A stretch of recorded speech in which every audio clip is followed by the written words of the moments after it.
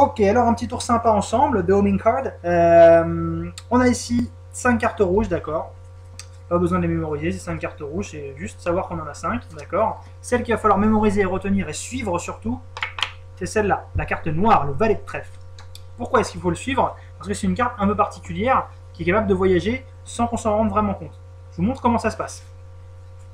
On va commencer par suivre. Alors attention, il faut suivre cette carte. Le valet de trèfle, ok? Le valet de trèfle, on va le mettre ici.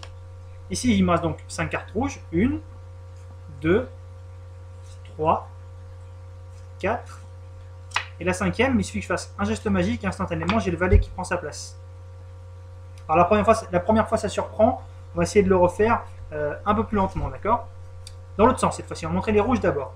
J'ai donc une rouge ici. Une deuxième rouge ici. Une troisième rouge ici. Et une quatrième rouge ici, d'accord? Donc le valet qui va aller ici. Nos quatre cartes rouges. Et regardez bien. Une carte rouge. Deux cartes rouges. Trois cartes rouges. Et le valet qui échange de place avec la quatrième.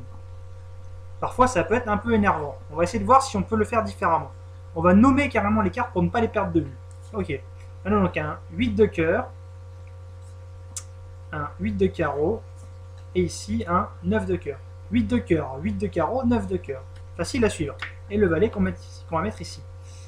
Euh, rappelons-nous les cartes qu'on vient de voir. Il y avait un 8 de cœur, un 9 de cœur, pardon, un 8 de carreau, et on avait un 8 de cœur. Un geste magique et le valet prend sa place. Je sais, ça peut parfois être énervant. Euh, on va essayer, on a quand même de moins en moins de cartes, ça va être de plus en plus difficile de se faire avoir. Suivons, suivons où est le valet maintenant. Le valet est ici, d'accord? Le valet de trèfle. On va le mettre ici, il me reste donc deux cartes ici. Deux cartes... Deux cartes rouges, non, deux cartes différentes, puisque j'ai le valet qui est revenu. Et ouais, il faut essayer de suivre aussi. Alors attendez, euh, ah je sais ce que vous dites. Vous vous dites peut-être que j'utilise pas qu'un seul valet en réalité. Peut-être qu'en fait j'ai que des valets. Et je dois avouer qu'effectivement j'ai 1, 2, 3, 4 et 5 valets. C'est vrai. J'avoue que je vous ai un petit peu menti. À vrai dire, j'en ai même pas 5, parce que vous voyez, il me reste une rouge, 5, euh, 5 valets et une rouge, mais en fait, même cette rouge, il suffit de la retourner simplement et instantanément, elle se transforme en valet aussi. J'ai donc plus que des valets. Ah, et c'est fou, hein. Parce encore plus fou, c'est qu'en fait, depuis le début, j'ai vraiment un roi, un valet, pardon, et une, deux, trois, quatre, cinq cartes rouges, rien d'autre.